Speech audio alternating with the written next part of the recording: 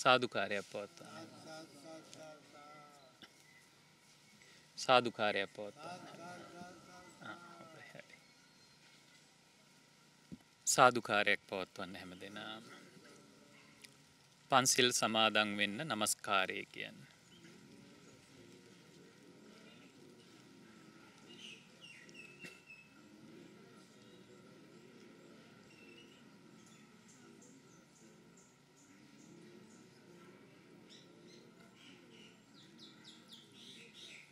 බුද්ධං සරණං ගච්ඡාමි ධම්මං සරණං ගච්ඡාමි සංඝං සරණං ගච්ඡාමි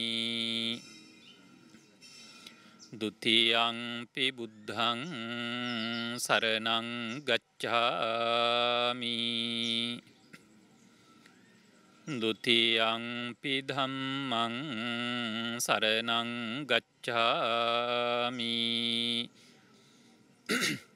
ဒ ුතියංපි සංඝං සරණං ගච්ඡාමි තතියංපි බුද්ධං සරණං ගච්ඡාමි තතියංපි ධම්මං සරණං ගච්ඡාමි තතියංපි සංඝං සරණං ගච්ඡාමි පානාතිපාතා වේරමණී සික්ඛාපදං සමාදියාමි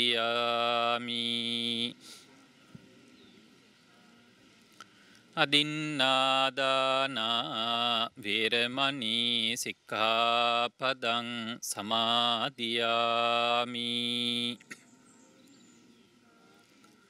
කාමේසු මිච්ඡාචාරා වේරමණී සික්ඛාපදං සමාදියාමි.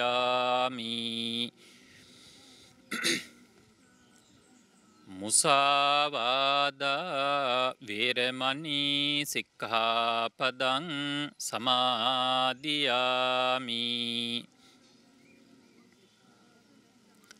සුරාමීරය මජ්්‍යපමාදට්ඨානා වේරමණී සික්ඛාපදං සමාදියාමී.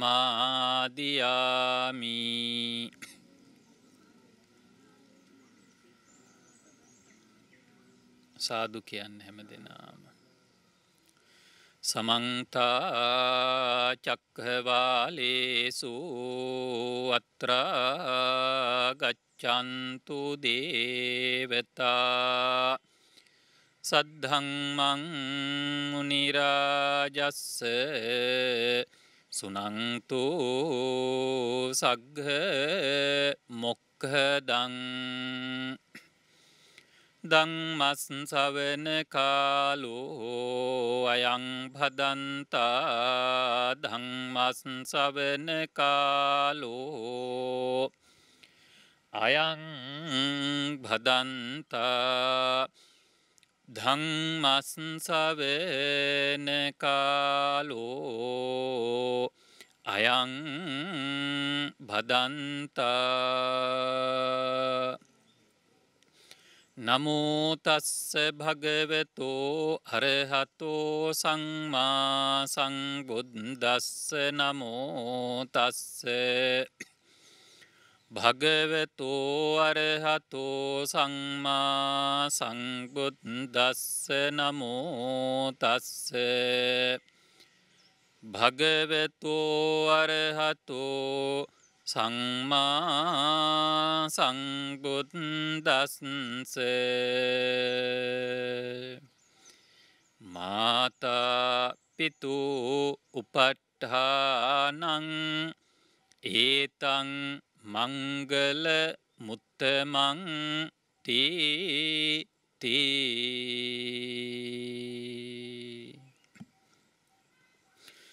බණහන්ට සූදානන් වෙන කාරුණික පිංවතුනි. මතුගම ආන්දාගල වත්ත වාසනා නිවසේ පදිංචි. ඔබ අද මේ දුර ගෙවාගෙන වැවුරු කන්නල පන්සලට ආවා. මේ විහාරස්ථානය මගින් පවත්වාගෙන යන දම් සතර රූපවාහිනී නාලිකාවේ ධර්මදේශනාවක් සිදු කර ගැනීම සඳහා. අද මේ පින්කමෙහි ප්‍රධාන දායකත්වය දරල කටයුතු කරන්නේ මං මතක් කරපු මතුගම ආදාගල වත්ත වාසනා නිවසේ පදිංචි පොලිසිය සේවය කරන අපේ ගුණපාල උහන්නෝවිට මහත්මාත් එවගේම මදුරාණි මහත්මියත් ඔබ දෙපළ භාග්‍යයා පූර්ණිමා මුදිතා නදීශානි උත්පලා උත්පල මේ මුණුපුරු මිනිබිරියන් දරූ එකතු කරගෙන අද ලස්සන පින්කමක් සිද්ධ කරනවා. ති මේ පින්කම සිද්ධ කරලා අපේ ගුණපාල මහත්මත් මදුරාණි මහත්මියත් බලාපොරොත්තු වෙන්නේ දෙපාර්ශවය මියගිය ඥාතීන්ට වින්දෙන්.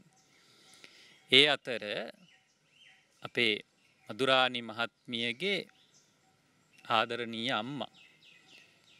සීලවතී කොළඹාරච්චි මහත්මිය පලල්ලා විට පදිංචි වෙලා හිටපු. පින් අනුමෝදන් කරන්න. අවුරුදු එකොළහක් වෙනවා මිය ගිහිල්ල. ඊට පස්සේ පීටර් උහන්නෝ විට හා ඇම්මේ අංගුහාමි කියල කියන්නේ අපේ ගුණපාල මහත්තයගේ ආදරණීය අම්ම තාත්තා දෙපළ. ඒ දෙපලටම පින් දෙෙන්. අද මේ පින්කම සිද්ධ කෙරෙනවා. ඒකම බලාපොරොත්තු වෙනවා පියදාස උහන්නෝ විට විමලදාස උහන්නෝ උහන්නෝ විට එවගේම ගුණදාස උහන්නෝ විට සෝමාවතී උහන්නෝ විට සුමිත් පිටිගල මේ මියගිය ඥාති. මේ අයටත් පින් දෙන්න බලාපොරොත්තු වෙනවා. ඒ වගේම අද මේ පින්කමත් එක් අපිත් එක්ක සම්බන්ධ වෙලා ඉන්නවා මෙතන තාත්තා. ඒ තමයි කොස්සිංහල විතානගේ කරුණාදාස තාත්තාට නිදුක් නීරෝගී භාවය ප්‍රාර්ථනා කරනවා. පින්කම කරලා. ඒ වගේම පින්කමත් එක්ක සම්බන්ධ වෙන හැමෝටමත් ආශිර්වාද කරලා බණ කියපු මටත් ආශිර්වාද කරලා තියෙනවා.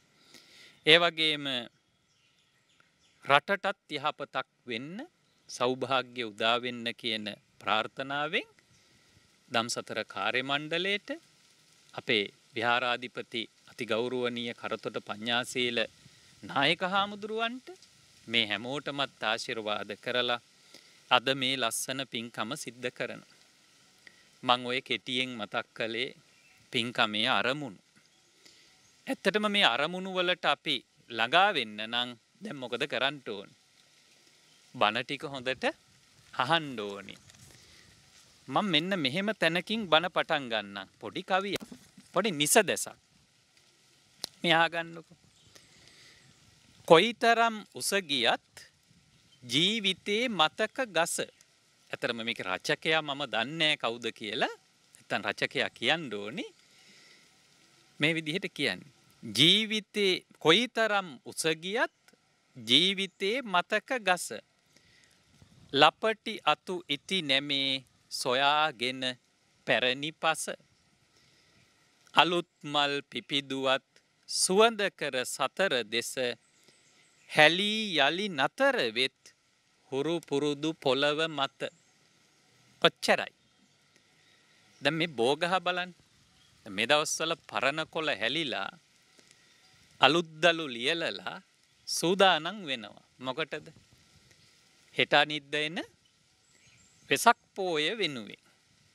කවිය කියනවා කොයි තරම් උසගියත් ජීවිතයේ මතක ගස. දැන් කවුද මේ උසගිහින් තියෙන්නේ? අපි. කොච්චර උසගියත් මුල මතක මිනිස්සු. ජීවිතයේ මතක ගස කිව්වේ ඒකයි. මුල මතකාය. ලපටි අතු ඉති නැමේ සොයාගෙන පැරණි පස ද මේ කොල කොහෙටද නැමිල තියෙන්. අතු කොහෙටද නැමිල තියෙන්. පොළොවට නැමිල තියෙනවා. තෙරුණාද කියනදේ. අලුත් මල් පිපිදුවත් එක යන්නේ දරුවෝ දරුවන්ගේ දරුවෝ පරම්පරාව බිහිවුවත් ගහත් එහෙමයි. අලුත් මල් පිපුදුවත් සුවඳ කර දසත දෙස හැබැයි කියනවා හැලී යලි නතරවෙත් හොරුපුරුදු පොළොව මත. ඇත්තටම අද ඔබ සිහිපත් කරන්නේ ඔබේ ආදරණීය දෙමව්පියන්. එක පැත්තකින් පින් දෙන්න අනිත් පැත්තෙන් ආශිර්වාද කරන්න. ජීවිතේ මතක ගස් එහෙමයි. ඒ කියන්නේ මුල මතක මිනිස්සු එහෙමයි. මං කියන දේ තේරුණාද? කවදාවත් අපිට අමතක කරන්න බෑ. කවුද? අපේ අම්මා තාත්තා. අපේ අත්තිවාරම එතන. අපේ අඩිතාලම එතන. අපි කවුරුත් අද තනතුරුවල ඉන්න පුළුවන්. අපි කවුරුත් අද ගෞරව නාම නම්බුනාම ලබාගෙන ඉන්න පුළුවන්. හැබැයි ඒ සියල්ලටම අපිට අඩිතාලම හදල දුන්නේ වෙන කවුරුත් නෙමෙයි. කවුද? අපේ දෙමව්පියන්. මං දන්න විදිහට ඔයගොල්ලෝ අද ඉල්ලීමකුත් කළා. මොකක්ද හාමුදුරුවනේ අද බණට කාගේ වටිනාකම් ගැනම කියල දෙන්න. දෙමව්පියන්ගේ වටිනාකම ගැනම මොකක් කරන්න කියලා කියලා දෙන්න කියලා. ඉතින් මම ඒ හා සම්බන්ධවම කාරණා ටිකක් එක්ක අද ධර්ම දේශනාව සිද්ධ කරගෙන යන්න බලාපොරොත්තු වෙනවා. පිංතුනි අපි ඇත්තටම ධර්මකාරණත් එක්ක මේ දැනමුතුකම් ඔබට ලබා දෙන්නේ තරහින් නෙමෙයි. දැන් මේ අම්මා ආපු ගමන් මට කිව්වේ හාමුදුරුවන්ගේ බණ අපි ඇහුවා. ආපු දවසේ මගේ හිතේ ඇතිවෙච්ච ආසාවක් තමයි මෙබඳු ධර්ම දේශනාවක් හාමුදුරුව ලව්වම කරගන්න. අද මේ ඉෂ්ට වෙන්නේ ඒකනේ. එහෙම නේද? එතකොට අපි මේ අනුශාසනාවන් කරන්නේ කාගෙනවත් තරහකින් අමනාපෙකින් ද? නෑ එහෙම නෑ. තේරුණාද කියන්නේ? මග පෙන්වීම කරන්නේ දැනමුතුකම් දෙන්නේ තරහකින් නෙවෙයි. අපි සමාජයට වග කියතු වග කිය යුතු හාමුදුරුවරු හැටියට. තෙරුණාද කියන දේ අද මේ කරන්නෙත් එහෙම වැඩක්. මේවා පිළියරගෙන කෙනෙකුට නිවැරදි වෙන්නත් පුළුවන් සමහරු මොකද කරන්න. මෙවා ප්‍රතික්ෂේප කරලා පැත්තකට දාලා නිකං ඉන්න අය ඉන්නවා. සූත්‍ර දේශනාවක් හම්බ වෙනවා සංයුක්ත නිකාය කුම්ම සූත්‍රය. මොකක්ද නම කුම්ම. එබන්නකෝ අපූරු උපමාවක්. හරි දැනමුතුකම් නොපිළිගත්තු කෙනෙක් ගැන තමයි මේ උපමාව කියවෙන්නේ. මුහුදේ යම් තැනක් අපි හෙම හිතමුකෝ මේ තැන මාළු වර්ග බොහොමයක් ජීවත් වෙනවා. ඒ අතර හිටපු තවත් සත්ව කොට්ටාසයක් තමයි කැස් බෑවෝ කියලා කියන්න. කවුද කැස් බෑවෝ. ඉතින් දවසක් වැඩි හිටි කැස් බෑවෙක් පොඩි හිටියෙකුට එකැන පොඩි කෙනෙකුට කියනවා ආං අර පැත්තට යන්ඩ එපා කැස් බෑවත් පැත්ත පෙන්නල කියනවා අර පැත්තට යන්ඩ එපා අනතුරු දායකයි. මේ කැස් බෑව කියන දේ අහන් නැතිද. මෙයා ඊළඟ මොහොතෙම කළේ මොකද ඒ පැත්තට ගිය එක. රවුම පීනල එන්න අර අවවාදෙ දුන්නු කැස්බෑවට ආයි අරය හම්බ වුණා. හම්බ වෙච්ච තැන අහනවා බංකිව්වනේ අර පැත්තට යන්ඩ එපා කියලා ගියාද ඔබ ඒ පැත්තට මංගියා දැන් ඉතින් මොකද දැන් එහෙනම් කතා කරල වැඩ නෑ. ඇයි? ඔබ අනිවාරයෙන්ම පැටලිලා ඇති මොකකද? දාපු බිලී කොක්කක වැටුන එහෙම නැද්ද? පිට උඩට කොක්කක්. සුත්‍ර දේශනාව යහන්නේ හෙමයි නැ නූලක් වගේ එකක් නම් පැටලුනා දැනුනා කියනවා. එතකොට දැනමුතු කමදීපු කැස් බෑව කියනවා. අර දැනමුතු කම නාහපු කෙනාට මොකක්ද. ඔබ නෙමෙයි ඔබේ හත්මුතු පරම්පරාවේ අයටවත් ඔය නූලෙන්නම් බේරෙන්න්න හම්බුනේ නෑ. දැන් ඔබ ඒ නූලට අහුවෙලා ඉවරයි. එකන්නේ බිලී කටුවට අහුවෙලා ඉවරයි. දැන් නුඹ අපිට අයිති නෑ. දැනපුතුකං නොපිළිපදින අයට වෙන විපත ඇත්තටම මේ දම් සතර වැනි රූපවාහිනී නාලිකා හරහා ඔබ මෙතෙන්ට ඇවිල්ල මේ සිද්ධ කරන පින්කම් හරහා ඔබට විතරක් නෙමෙයි මේ වටිනාකම යන්නේ කාටද. රටටත් යනවා. කුම්ම සූත්‍රයේ දෙන අපූරු උපමාවේක අර කැස්බෑව කියනවා දැන් ඔබ අයිති ඒ බිලී කොකු දාපු කෙවුලන්ට කෙවුල කිව්වේ මාළු අල්ලන කෙනා. මෙතන කෙවුල සඳහන් වෙන්නේ මාරයා විදිහටයි. දැනු මුතුකම් නොපිළිගන්න කෙනා ඒ කාන්තයෙන් අහු වෙනව කාටද. ලං වෙනවා කා ළඟටද. මාරයා ළඟට. ඊළඟට බිලී කොට්ටු කටුව තමයි මොනවද. ලාභ සත්කාර බිලී කටුව නැමති ලාභ සත්කාරවලට මොකක් වුණාද. අර කැස් බෑවා අහුුණා. ඒ වගේම නෝල තමයි ආශාව ආය ගැලවිල්ලක් නෑ විනාසයි ඉවරයි මං කියන දේ පැහැදිලි ඇති ඔබට.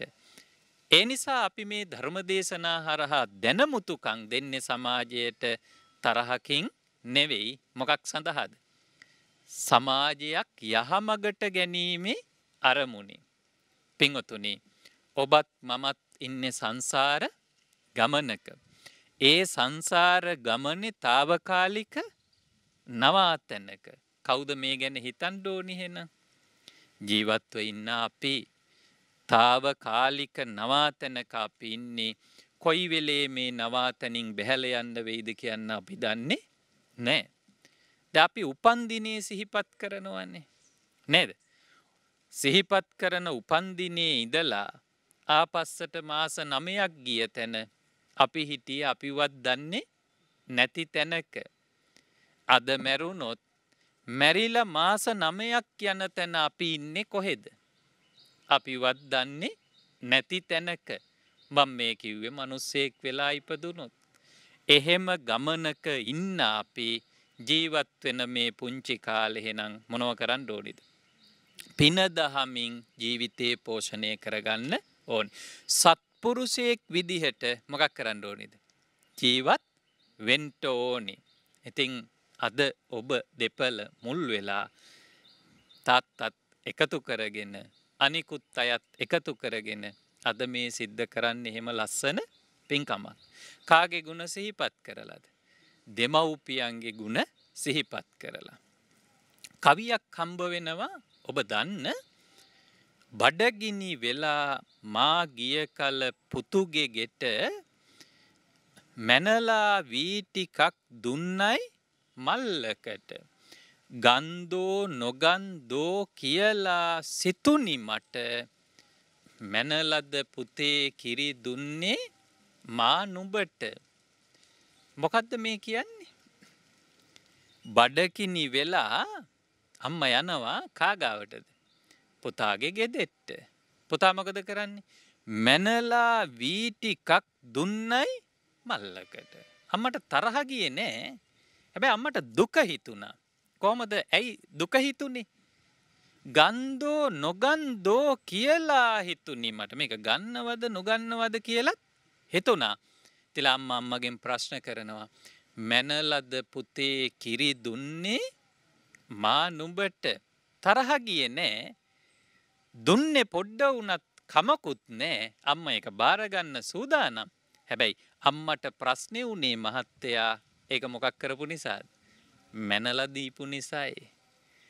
අපේ අම්මල එහෙමයි තාත්තල එහෙමයි. කවදාවත් දෙනදේ මොකක්ද මනින්න යන්න හොඳ නෑ. ඇත්තටම අම්මට කවිය දුක හිතුනේ මොකක් නිසාද? වීදීපු එක මොකක් අනුවදීපු නිසාද? මැනලදීපු නිසායි. අපි අද බිහිවෙන දරුවන්ට අපේ දරුවන්ට මේ අගනාකම් කියල දෙන්ට ඕනි. වටිනාකම් කියල දෙන්ට ඕනි. මොකද මේ ගුණ යහපත්කම් සීග්‍රයෙන් කොහෙට දෙයන් පහලට යන්න යුගයක්. දරුවන්ට උගන්නන්න ඕනි. කියල දෙන්ට ඕනි. පොතපතේ දැනුම වගේම මකදද? ගුණ යහපත් කනුත් ඇත්තටම අපි අපේ දරුවෙක් තියන්ඩ ඕනි අතිජාත කියන තැන. සමාජෙන් ඇහෙන්ට ඕනි. මගේ ඔබේ දුව ඔබට වඩා හොඳයින්නේ. කාටද කියන්න ඕන? අම්මට. සමාජයෙන් මිනිස්සු කියන්න ඕනි තාත්තට ඔබේ පුතා ඔබට වඩා හොඳයින්නේ. ඒ කියන්නේ අම්මටත් තාත්තටත් වඩා ඉහළ තැනක කවුද ඉන්ට ඕනි. දරුවෝ ඉන්ට ඕනි. ඒ දරුවෝ තමයි හැඳින්නිවේ කවුරු කියලද. අතිජාත කිව්වා. අම්මටයි තාත්තටයි වඩා දරුවෝ හොඳයි. එතෙන්ට යන්න බැයිනම් අනුජාත එකන්නේ අපේ මට්ට මේවත් තියාගන්ට ඕනේ. එතනිනුත් පල්ලට වෙන්නොත් ඒක දන්න ඕකොල්ලු. මොකක්ද. අව ජාත එකැනි අම්මගේ තාත්තගේ මට්ටමිනුත් පහලට දරුව වැටෙනවනං ඒ අය තමයි කවුද. අවජාත කිව්වේ. එනම් හැම අම්ම කෙනෙක්ගේ තාත්ත කෙනෙක්ගෙම කාර්යභාරය බවට පත්වෙන්නේ දරුවන් කොහෙ තියෙන එකද. අතිජාත කියන තැන තියෙන එක. තෙරුණ අද කියනදේ. දරුවන්ටත් වගකීමක් තියෙනවා. මොකදද. අම්මටයි තාත්තටයි බැනුම් නාහන විදිහට නෑහෙන විදිහට මොකක් කරන්න ඕනෙ. වැඩ කරන්නට ඕනේ. ආදරේ කියලා හැමදේම දීල හරියන්නේ නෑ. ආදරෙයි කියලා දරුවන්ට ඕනි ඕනි විදිහටම වැඩ කරන්න දීල හරියන්නෙත් නෑ. නේද. ආදරේ අපි ළඟත් තියෙනවා ඇත්තටම සත්තුන්ට තිරිසං සතා පවා මොකක් කන්නවත්. ආදරේ. පොඩි කවියක් ගන්න මතක් වෙච්ච නිසා කවිය කියනවා හත් අවුරුදු හාරමසක් එකම පුතයි ලද්දේ. වත්ත වටේ වැට බැඳලා පුතාට කළ යුද්ධේ. හැලිය වටේ ගිගුම් දිදී පුතා ඉදෙන සද්දේ එහෙව් පුතා තනිකරදා කොහොම ඉඳින් බැද්දේ. මේකට මේ ජනකවියට ගොඩනැගිච්ච පසුබිම් කතාවත් තියෙනවා. කතාව කිව්වන් ඔබට කාරණේ වැටහේවි. කතාව තමයි දවසක් වැද්දෙක් කැලේ යනවා. දඩේමට දඩේමක් හොයාගන්න. මෙයට හාවෙක් අහු වෙනවා. හාව මරාගන්නවා. වැද්ද එදා රෑ කැලේ. කැලින් එලියට එන්නේ නෑ. කැලේ ඉන්න වැද්දා මරාගත්තු හාව මස් කරලා හදාගන්නවා. රෑට කන්න. වැද්දා හාවා මස් කරලා හැලිය ලිපේ තියලා ඒක ඉදෙනකම් බලන් ඉන්නකොට තවහාවෙක් ඇවිල්ල මොකද කරන්නේ. වැද්ද දිහා මේ සිදුවීම දිහා බලන් ඉන්නවා. දැන් ඔන්න ඔබට තේරෙයි කවිය. හත් අවුරුදු හාර මසක් එකම පුතයි ලද්දේ. කවුද එතකොට දැන් මේ කියන්නේ? වැද්ද කියන කවිය. අර දර්ශනේ දැකලා. හත් අවුරුදු හාර මසකට පස්සේ හා අම්මට හම්බ වුණ කවුද? හා පැටියා. එකම පුතයි ලද්දේ. මේ හාම්මත් හා පැටිය ලොකු මහත් කළේ වත්ත වටේ වැට බැඳලා පුතාට කළ යුද්ධේ. අපේ අම්මලා අපිව ලොකු මහත් කලා වගේ තමයි. වැටක් ගහල මේ හා පැටිය හැදුව කියන එක නෙමෙයි මේ කියන්නේ. හා අම්මා මොකක් කලාද. ආරක්ෂා කරපු හැටි හරියට කවුරු රැක්ක වගේද. අපේ අම්ම තාත්තා අපිව රැක්කා වගේ. හැලිය වටේ ගිගුම් දිදී පුතා ඉදෙන සද්දේ ලොකු සෝකාන්තයක් මේ කවියස්සේ තියෙන්නේ. එහෙම හදපු හා පැටිය තමයි දැන් කොහෙදඉන්නේ. අර හැලියේ ඉදෙන්නේ කවිය කියන. කවිය කියනවා මේ දර්ශනය දැකලා එහෙව් පුතා තනි කරදා කොහොම ඉඳින් බැද්දේ. ඇත්තටම දැන් අර ඇවිල්ල බලං හිටියේ මේ හැලියේ ඉන්න හාවගේ කවුද? අම්මා. අර ඇතිවෙච්ච දුක තමයි ජනකවිය කවියෙන් කිව්වේ. ඒ තිරිසං සතාගේ ආදරේ. එනම් තිරිසං සතාට පවා ඒ ආදරේ දැනෙනවද නැද්ද? දැනෙනෝ ඇත්තටම අම්මා තාත්තා මව් සෙනෙහස පිය සෙනෙහස ඇතට මෙතන තියෙන්නේ සෙනෙහස අපි අම්ම තාත්ත වෙනුවෙන් කරන්නේ යුතුකම් හැබැයි අම්ම තාත්ත ළඟ අපි කෙරෙහි තිබුණේ යුතුකම් නෙමෙයි මොකක්ද එතන තිබුණේ මව් සෙනෙහස සහ පිය සෙනෙහස. අම්මගේ ආදරේ තාත්තගේ ආදරේ ගලන්නේ උඩින් පහලට. මව් සෙනෙහස පිය සෙනෙහස ගලන්නේ කොහෙට? උඩින් පහලට. පහලින් උඩට. පහලින් උඩට තියෙන්නේ යුතුයකම්.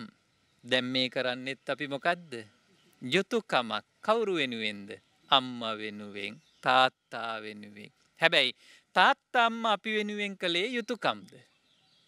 නෑ. ඔබත් අම්මා තාත්තා නිසා ඒක දන්නවා. ඔබ දරුවන්ට ආදරේ.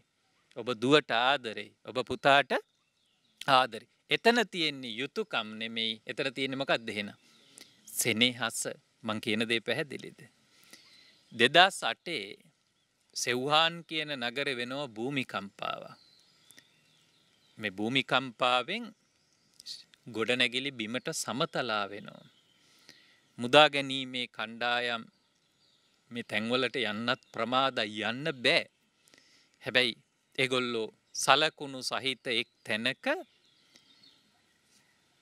සුම්බුන් අයින් කරනවා. ගෙදරක අයින් කරගෙන අයින් කරගෙන යනකොට ඔවුන්ට පේන්න තියෙනවා එක් කාන්තා මලසිරුරක්. මේ කාන්තා මලසිරුර තියෙන්නේ අර අපි ඉගෙන ගත්තු සද්ධර්ම රත්නාවලියේ. ඒක අපි ඉගෙන ගත්තේ කතාවක් පටාචාරා කතාවස්තුව කියලා. ධර්මසේන හාමුදුරුවෝ ලියන්නේ. දෙවැල්ල මිට දෙදෙන බිම හොයාගෙන එලි වැස්ස පායනකං දරුවෝ දෙන්න කොහෙ තියා හිටියද?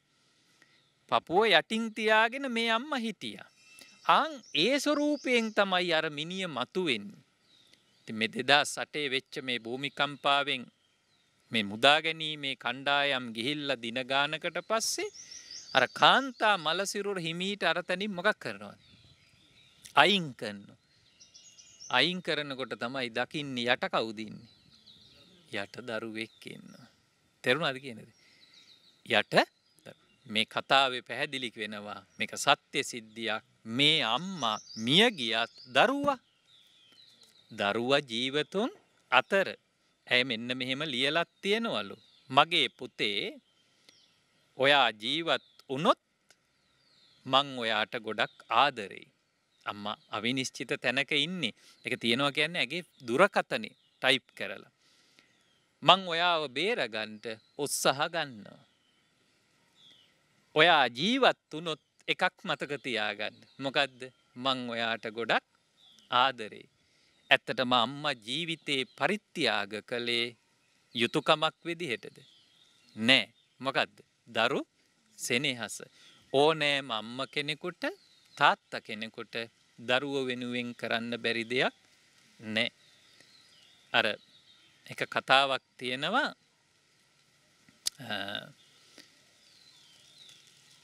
තමන්ට යමක් කමක් තේරෙන වයසට එනකොට මේ පුතා දකින්නේ අම්මගේ එක ඇහැක් පමණක් තියෙන.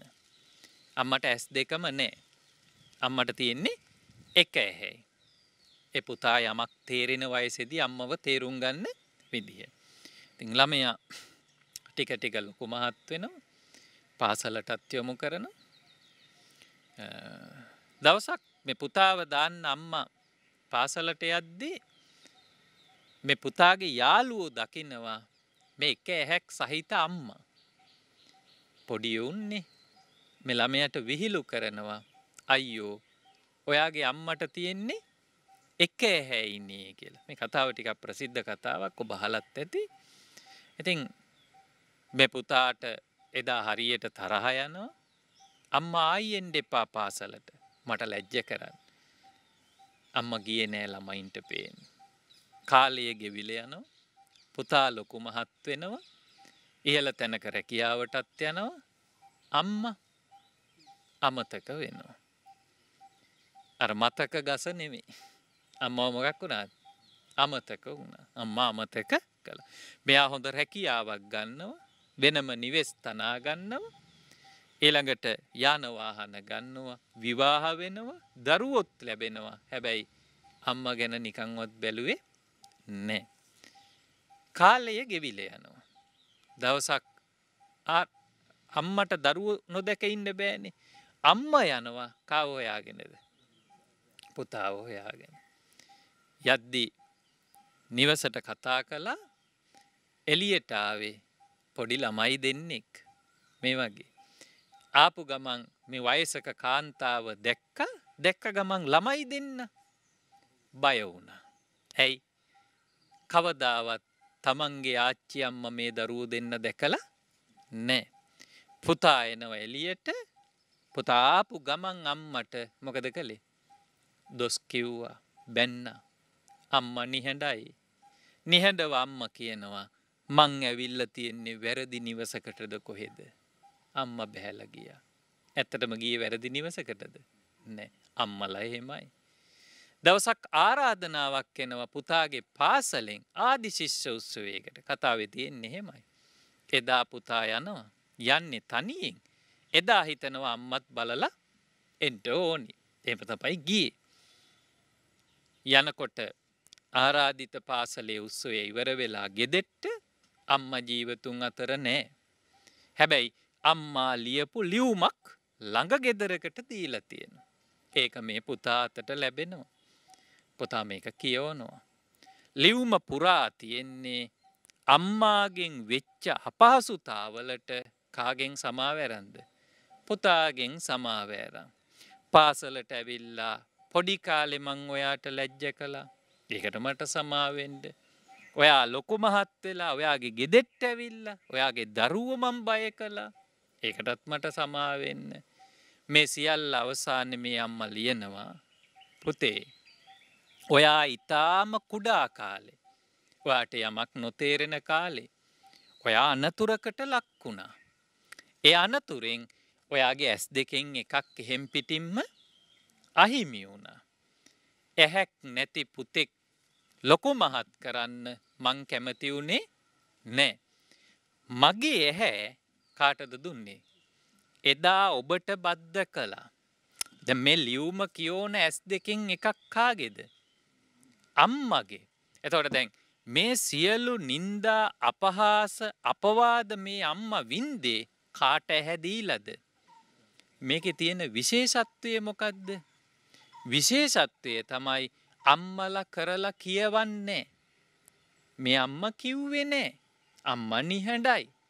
මං කියන දෙ තේරුණාත්.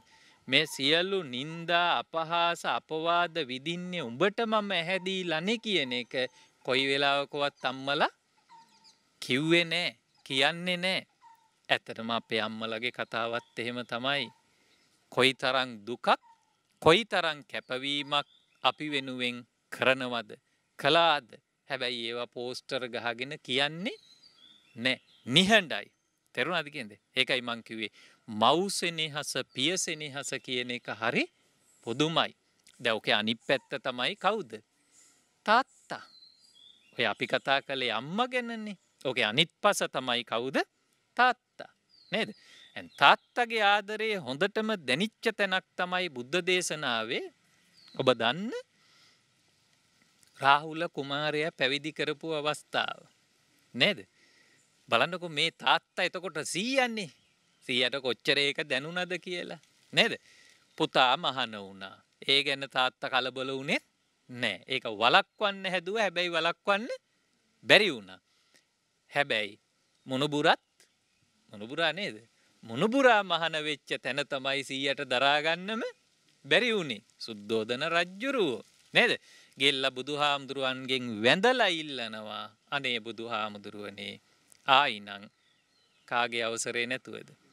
දෙමව්පියන්ගේ අවසරය නැතුව මොකක් කරන්න එපාද. දරුවෝ මහන කරන්න එපා දැක්කද තාත්තගේ ආදරේ තැරුවද කියනද. තාත්තගේ ආදරේ තාත්තගේ ආදරේ තියෙන්නේ කොහෙද.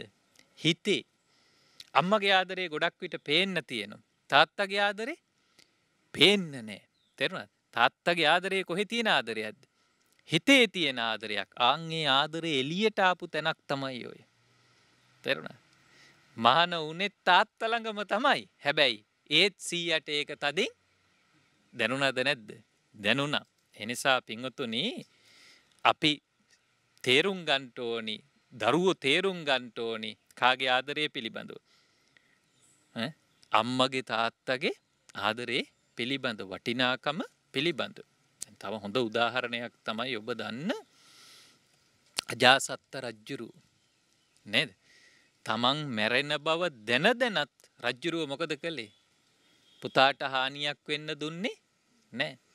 දේවිය තැත් කලානේ බමුණු පඩිවරු කිව්වන්නේ මේ උපදින්නේ තාත්තා මරණ කුමාරයෙක් කියලා. නේද? මව් කුස තුල ඉද්දිමනේ තාත්තගේ පපුව පලලා මොකද්ද? ලේ බොන්න හිතුනේ. බමුණු කිව්වා මේ උපදින්නේ තාත්තා මරණ පුතෙක්. හැබැයි මේ තාත්තා කොයිතරම් තමන්ගේ පුතාට ආදරේ ද කිව්වා නම් කුස තුල ඉන්නේ නැද්දෙත් බිරිඳට රැකවල් යෙදුවා. මොකද්ද? දරුව විනාශ කරයි කියන බයට. මොකද බිරිඳ ස්වාමියට ආදරේ අනාවැකිවලට අනුව තාත්තා මරණව ඒ බයට ඇය දරුවා නැති කළොත් කියන බයට මේ තාත්තා මොකද කළේ? රැකවල් යෙදුවා. හැබැයි තාත්තා මැරුණා. නේද? කුඩා කාලෙදී ඇති අතේ ඇඟිල්ලේ නේද? විසර ගෙඩියක් ඇවිල්ලා තියෙද්දි මේ තාත්තා ඒ දරුවාට තියෙන සෙනෙහසින් එය කටේ දාගෙන එරුවා. ඒක ගෙඩිය සැරව ගෙඩිය පිපුරුවේ කාගේ කටේද? එක තමයි පිය සෙනෙහස. මං කියන දේ තේරුණාද? හැබැයි තාත්තා කොයි වෙලාවකවත් පුතාට වෛර කළේ එල්ලපු දෑ දුන්නා රජකමත් දුන්නා. හැබැයි මේ පුතා සෑහීමකට පත් වනේ නෑ. අද සමාජයේත් සමහරි ඔවැනි පුත්තු නැතුව නෙමේ තෙරනවාද කියන්දේ තාත්තාගේ ගුණ තාත්තාගේ වටිනාකම නොදන්න සමහර පුත්තු අද සමාජෙත් ඉන්නවද නැද්ද? එන්නවා මතක තියාගන්න ඕනි මේ බණ අහගෙන ඉන්න පුත්තු. අම්මට තාත්තට ඉහලින් අපිට වචනයක් කතා කරන්න බෑ. මොකද ඒ අය තමයි අපේ ජීවිතේ අත්තිවාරම අඩිතාලම අපි අද හැමෝම මේ තැන්වල ඉන්නේ කානිසාද? එබදු ආදරණීය අම්මත් තාත්තත් නිසා. ඒ නිසා තමයි මේ කාරණා අද ධර්ම දේශනාව තුළදි ඔබට සමාජගත කරන්නේ. ගෙදර බුදුන් නේද? ඇතටම පස් තැන බිමතියලා කාටද වඳින්න ඕනි? අම්මට තාත්තට වඳින්න ඕනි. මොනවද පස් තැන? දෙදන සහ දෙවැලමිට සහ නලල. නලල. නේද? දැන් කුඩා කාලේ ළමයි එහෙම වඳිනවා. ලොකු මහත් වෙනකොට මොකද කරන්නේ? මේවා ගොඩක් අපෙන් අයින් වෙලා යනවා. ඒක හොඳද? හොඳ නෑ. දැන් ඉතිහාස පොතේ සඳහන් වෙනවා අටවෙනි අක්බෝ රජ්ජුරුව. අම්මට සැලකුවයි කියන්නේ චෛත්‍යයක් විදිහට. මං හිතන්නේ අපේ පසුපසින් චෛත්‍යය පේනවනේ. අපි චෛත්‍යයකට වන්දනාමාන කරන්නේ ගරු කරන්නේ යම්සේද? මොකද කළා කියන්නේ? අම්මට තාත්තට වැන්ද සැලකුවා ගරු කළා. ඕකම ලියනවා රඹුකන සිද්ධාර්ථ හාමුදුරුව මෙන්න මේ විදිහට. බහන්නකො කොම දන්නවද? වෙහෙරක් වගේ පින්දුන් කෙනෙක් කොඹූරක් වගේ බද්දුන් කෙනෙක් දෙවෝලක් වගේ දුක් ලැබූ කෙනෙක් වේ නම් ලොවේ කවුද නුඹයි අපේ අම්මා බලන්න මේ පසු පසින් තියෙන වෙහෙර වඳින්න වඳින්න පින් සිද්ධ වෙනවා. අපි ගිහිල්ලා රුවන් වැලි සෑය වඳිනවා. වඳින්න වඳින්න පින් සිද්ධ වෙනවා. හාමුදුරුව ලියනවා මෙවෙහෙර වඳින්න වඳින්න පින් සිද්ධ වෙනවා වගේ අපේ නිවසෙත් තියෙනවලු වෙහෙරක්. කවුදේ? ඒ තමයි අම්මා. එකයි අටවෙනි අක්බෝ රජ්ජුරුවෝ චෛත්‍යයකට මෙන් කාටද. අම්මාට සැලකුවේ වන්දනාමාන කළේ ගරු සත්කාර කළේ. හාමුදුරුව ලියන්නෙත් ඒකයි වෙහෙරක්කු වගේ පින්දුන් කෙනෙක් අම්මගේ ආශිරුවාද නැතු අපිට ගමනක් නෑ. තාත්තාගේ ආශිරුවාද නැතු අපිට ගමනක් නෑ. අපිත් අම්මගේ තාත්තගේ ආශිරුවාදය ඇතුවයි මේ ගමන යන්ටෝනි. එහෙම ගියොත් තමයි ඒ ගමන අපිට පල දෙන්නේ. එම නැත්තං අපේ ජීවිත ගොඩක් විට මොකක් වෙලාද. විනාස සත්වයට පත්වෙනවා. ජාතක පොතේ එනවා ජාතක කතාවක් මාතු පෝෂක ජාතකය. එ ඔබ දන්න මාතු පෝසක ජාතකෙත් අර මුහුදේ අම්ම පුතා වැටිච්ච වෙලාවේ ගොඩබිමට පීනපු සිද්ධියනේ. ඇතට මෙතනත් වෙන්නේ මගේ පුතා බුදුවේවා කියල ඔළු අත ගාන එකනේ. මේ මාතු පෝසක ජාතකය වෙන එකක්. මේක වෙන්නේ බෝසතාණන් වහන්සේ උපදිනවා ඇත් කණ්ඩායමක ඇත් කුලයක රජු විදිහට. හැබැයි බෝසතාණන් වහන්සේගේ අම්මගේ තාත්තගේ දෙන්නගෙම ඇස් පේන්නේ. ඒ දෙන්නත් ඇත්තු. තෙරුණාද ඉතින් මේ ජාතක කතාවේ හැටියට දැන් මෙයා රජ්ජුරුවනි රාජ්‍ය කරන්නත් ඕනි. ඇතා වුණත් කණ්ඩායමේ නායකයන්නේ අම්මයි තාත්තයි බලාගන්නත් ඕනි. දැන් රජ්ජුරුව යටතේ ඉන්නවනේ ඕනි තරම් පරිවාර ඇත්තු. ඉතින් රජ්ජුරුව මොකද කළේ පරිවාර ඇතුන් ලවා ආහාර යැව්වා. කාටද? අම්මටයි තාත්තටයි. ඇතින් මේ ටික දවසක් යනකොට රජ්ජුරුවන්ට තේරෙනවා ගැන රාජ ඇතාට තේරෙනවා මේ අම්මයි තාත්තයි දුරුවලයි. කෑම යැව්වට අම්මයි තාත්තයි මොකක් වෙලාද. දැම් මේ මොකද වෙලාතින් යවන කෑම අම්මටයි තාත්තටයි යන්නේ නෑ. එවයි ටිකයි යන්නේ. ඉතුරුවා කවුරු කාලද? ගිනියන අය කාලා. ඇත්තටම මේ බෝසත් රජතුමා බෝසත් ඇතා එදා තීරණය කරනවා රජකම මොකක් කරන්නද? අත්හරින්න. තේරුණාද කියන්නේ? රජකම අත්හැරියා. රජකම කරන ගමන් මට අම්මයි තාත්තයි බලාගන්න බෑ. රජකම අත්හැරපු බෝසතාණන් වහන්සේ වෙනම හුදකලාව ඉඳගෙන කාව රැක්කද. අම්මයි තාත්තයි රැක්ක. මාතු පෝසක ජාතකය තිරිසන්ගතව ඇත්රජෙක්ව ඉඳගෙන කාව පෝෂණය කරපු හැටිද. අම්ම තාත්ත පෝෂණය කරපු හැටි. ඉගාව ජාතක කතාවගොල්ලු දන්නවනේ සාම ජාතකය. එතන උපදින්නේ මනුස්සයෙක් වෙලා. එතනත් අම්මගේ තාත්තගේ දෙන්නගේ මැස් පෙන්නේ නෑ ඒ කතාව ඔබ දන්නවා. එදා අම්මයි තාත්තයි බලාගත්තා නේද සාම කුමාරයා පොඩ් පුතාල පොඩි පන්තිවල ඉගෙනගෙන තියෙනවනයෝ නේද? සාම කුමාරයා තමන්ගේ අම්මතාත්තා බලාගත්තු හැටි. නේද? ඒ එක්කම මම අද මේ ධර්මදේශනාව හරහා ලොකු පණිවිඩයකුත් දෙනවා. ඒක පණිවිඩයක් තමයි දැන් නොබෝ දිනකින් වෙසක් පෝය උදා වෙනවනේ. නේද? බුදුරජාණන් වහන්සේත් බුදුවරයෙක් විදිහට තමන්ගේ අම්මාටත් තාත්තාටත් කොහෙට යන්න මග හැදුවද. නිවනට යන්න මග හැදුව. තාත්තටත් නිවන් දකින්න මග හැදුව දිවිය ලෝකෙ ඉපදිලා හිටපු මාතෘූ දිව්‍යරාජයට අපි කියන්නේ විජම්පිටකෙන් අභිධර්මයෙන් බණ කියලා අම්මටත් නිවන් දකින්න මග හැදවා. ඇතටම දරූ හැටියට අපිටත් එහෙනම් වගකීමක් තියෙනවා. මොකද කරන්න ඕන. නියම දරුවනං අම්මටයි තාත්තටයි කොහෙට මගද හදන්න ඕනි. නිවනට මග හදන්න ඕනි. සැරියුත් ආමුදුරුවොත් ඒකම කළා. එම නේද. සාරීනම් බැමිණියට කොයටද මග හැදුවේ. නිවනට මග හැදවා. තෙරුණාද කියනදේ. ඒක පැවිදි වුණත් ගිහිව හිටියත් ඔබටත් ඒ කාරය කරන්න පුළුවන්. දරුවොත් යහමග යන ගමන් හොඳ දුවෙක් හොඳ පුතෙක් නං අපි ඉගෙනගෙන ඉහලට ගිහිල්ලා ඊළඟට මගහදන්න ඕනි කාටද. අම්මටයි තාත්තටයි නිවනට මගහදන්ට ඕනි. එහම නැතු මේ අම්මටයි තාත්තටයි බරක් වෙන්න අපි කටයුතු කරලා හරියන්නේ නෑ. සමහර දරුවෝ ඉහලට ගිහිල්ලා ඉහල්ල තැන්වලට ගිහිල්ලා ඒත් අම්මයි තාත්තයි කොතෙන්ට හිර වෙලාද. ගෙදර වැඩවලටයි දරුවන්ගේ වැඩවලටයි මොකක් වෙලාද. අපි හිර කරලා තියෙනවා බලන්නකො කොයි තරං අසාධාරණයක්ද අපි කරලා තියෙන්නේ කියලා. හිතන් තෙරුණද කියනදේ. අම්මතාත් අපිව පෝෂණය කලා ගොඩ නැගුවා හැබැයි අපෙන් විය යුතුම කාරණයක් තමයි එහෙනම් මොකද. ඒ දෙන්නට නිවනට මගහදන එක අද ඔබ මේ තාත්ත එක් කරගෙන ඇවිල්ල ඒ කාරය සිද්ධ කරනවා. තෙරුණද කියනදේ.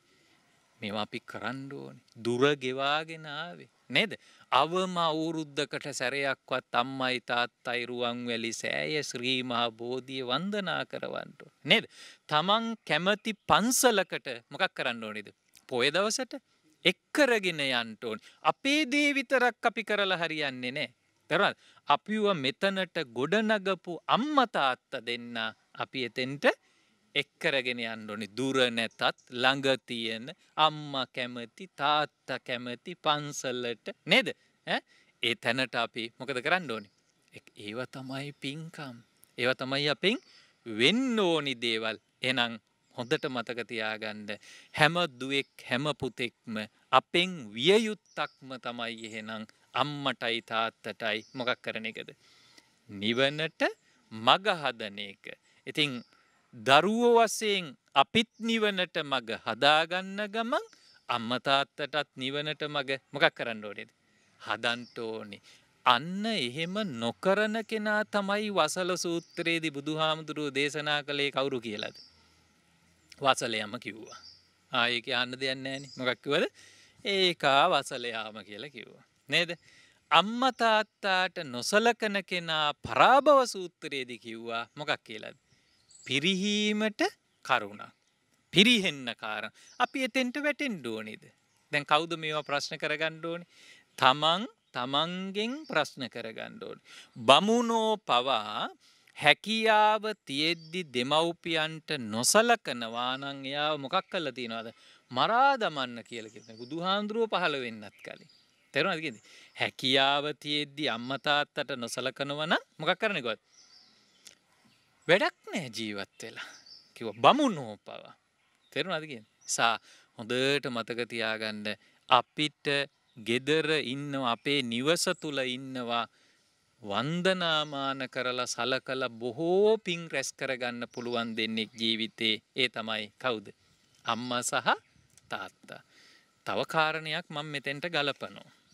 හරි ඒ ගලපන කාරණය තමයි ඒ සියලු සත්කාර සම්මාන ගෞරව විදි ලබන්න අම්ම තාත්තත් මොකක් වෙන්ඩෝනෙද. අන්න හරි. ඒවා රැකගෙන කටයුතු කරන්නටුව. අපි දරුවන්ටම දොස් කියල හරියන්නේ නෑ. සමහර තැන්වල තියෙනවා එහෙම ගැටලුත්. මං මේ කාරණය කියන්නේ දෙමව්පියන්ට. ඒකට මම තෝරගන්නේ ජාතක කතාව නම ස්වර්ණ මිග ජාතකය. හරි අපේ බුදුහාමුදුරුවන්ගේ කාලේ බොසතාණන් වහන්සේ වේළුවනාරාමෙ වැඩයින් නැද්දි වේළුවනාරාමෙට දානෙගේන භික්‍ෂූන් වහන්සේලාට ඇප උපස්ථාන විදිීන් සිද්ධ කරන එක කුල දුවක් හිටිය. දියනිය. හරියට පින්කම් කරනෝ මේ දියනිය. තෙරුණාද ස්වරන්න මිග ජාතකය. ඉතිං මේ දියනියට සුදුසු කාලයාවම විවාහයෝජනාවක් ගෙනාව. එව සාමාන්‍ය සිදුවීම්නේ. විවාහයෝජනාව ගේන්නේ මිත්‍යාදුෘෂ්ටික මනුස්සේ. එකන්නේ යා මේ දන් දෙනවට විරුද්ධ කෙනෙක්. මේ දියනිය මේ විවාහයට විරුද්ධ වුණ මං කැමතිනෑ මේකට. ඇයි මනුස්සයා මිත්‍යාදුෘෂ්ටිකයි එහමුණුත් මට මගේ පින්කම් සිද්ධ කරගන්න බෑ.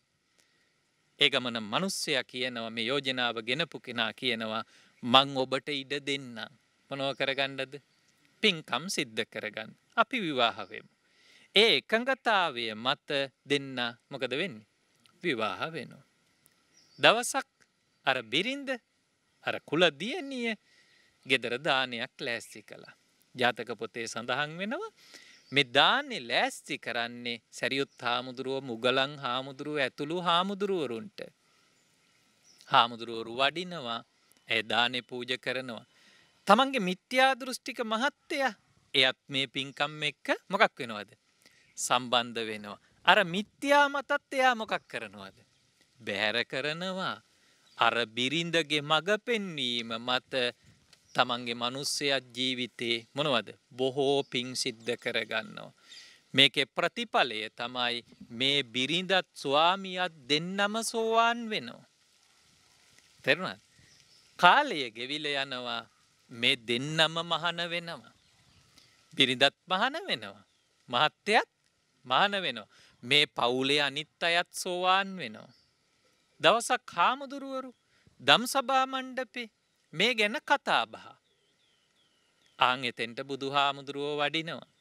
තෙරුණත් බුදුරජාණන් වහන්සේ අහනවා මං එන්න කලින් මොකක් ගැනද ඔබ කතා කර කර හිටියේ. ආං එතෙන්දි භික්‍ෂූන් වහන්සේලා කියනවා අර රහත් තත්ත්වයට පත්වෙච්ච පවුල පිළිබඳ.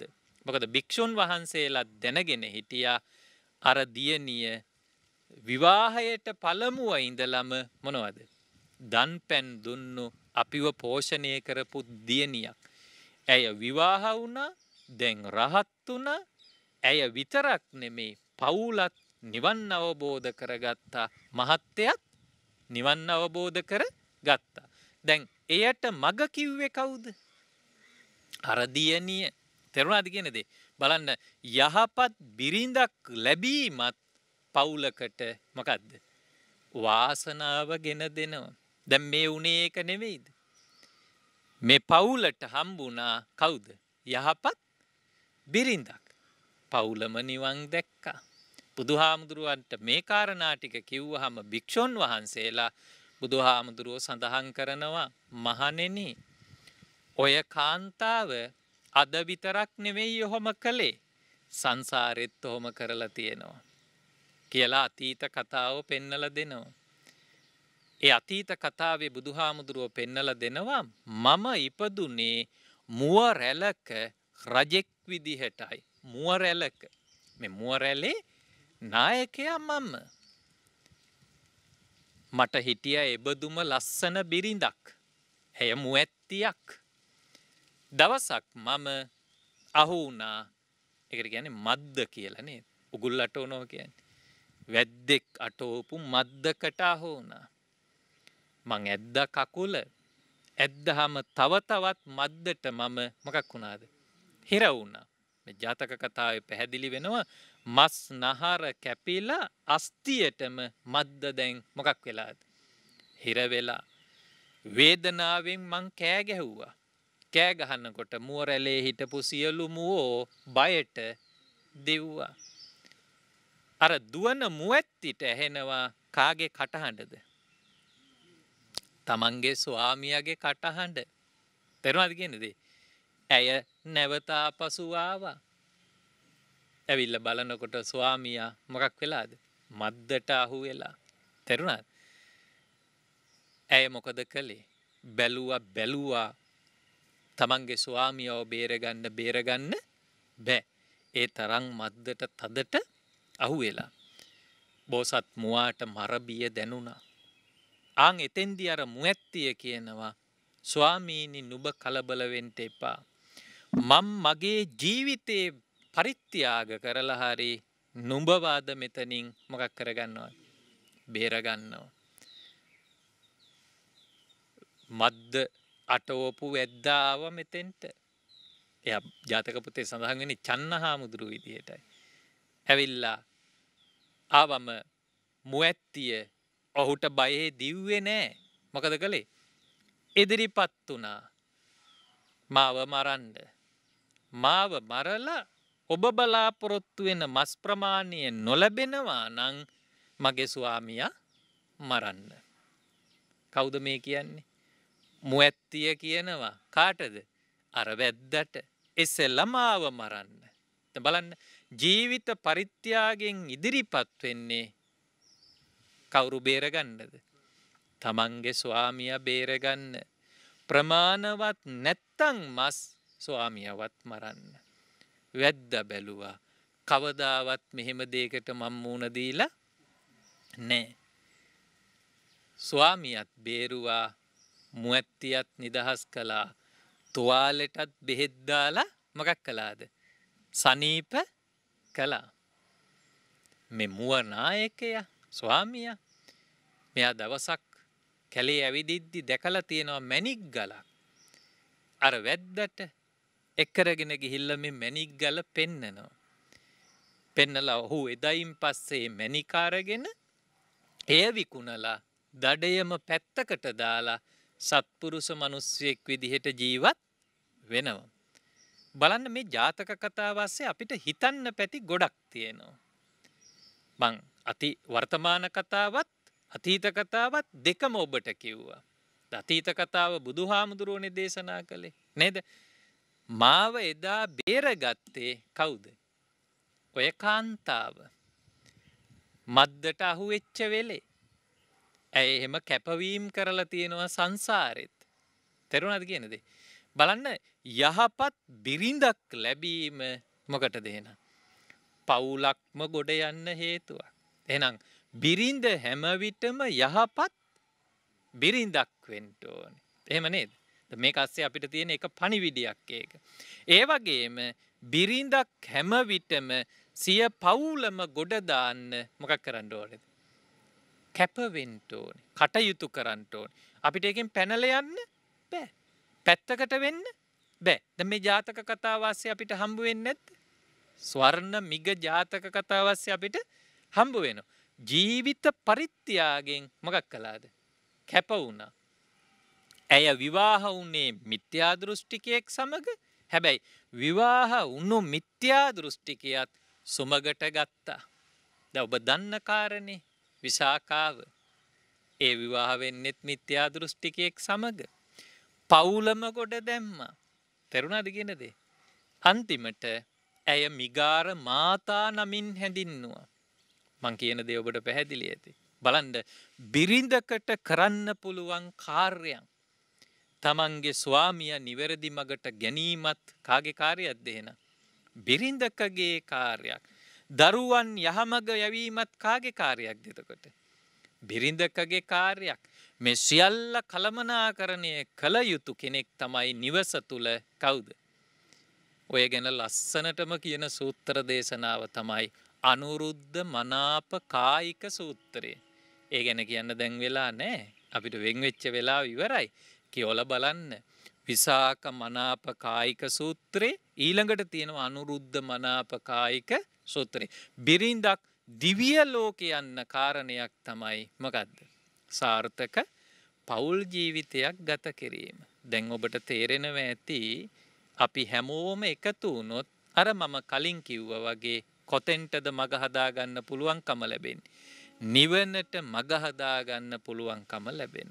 මේවා පිළිපැදලා ජීවිතයට අරගෙන තේරුම් ඇරගෙන කටයුතු කිරීම කා සතුයිද. ඔබ සතුයි. මග කියාදීම හාමුදුරුවෝ සතුයි නැත්තං අර මද්දට අහුවෙච්ච කැස්බෑවට වෙච්ච දේ තමයි වෙන්නේ.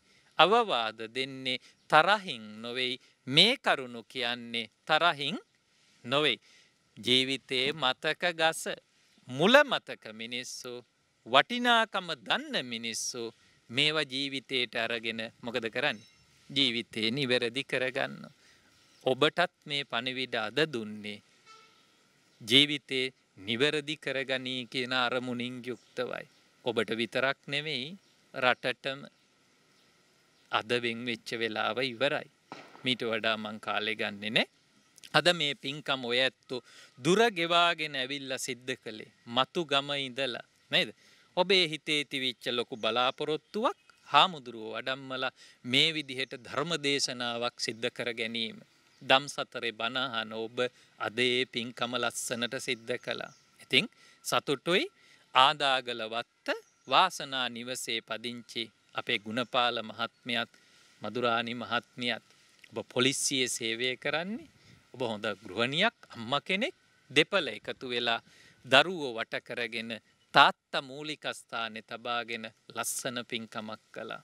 මෙසිද්ධ කරගත්තා වූ සියලු පින්කම් වල බලය ශක්තිය කරනකොටගෙන එමිය පරලෝ යන්ටේ දුණු සීලවතී කොළඹාරච්චි ඒ අම්මටත් ඒ වගේම පීටර් උහන් නෝවිට සහ ඇම්මේ අංගුහාමි කියන ඒ ආදරණීය තාත්තා අම්ම දෙපළ ඇතුළු මං කලින් නං සිහිපත් කරපු පරපුරේ මියගිය සියලු ඥාතීන්ටත් මේ පින් අනුමෝදං වේවා දුකින් අතමිදේවා සැපවත් වේවා ප්‍රාර්ථනීය බෝධියකින් නිවන් දකීවා කියලා සාදු කියලා ප්‍රාර්ථනා කරන්න.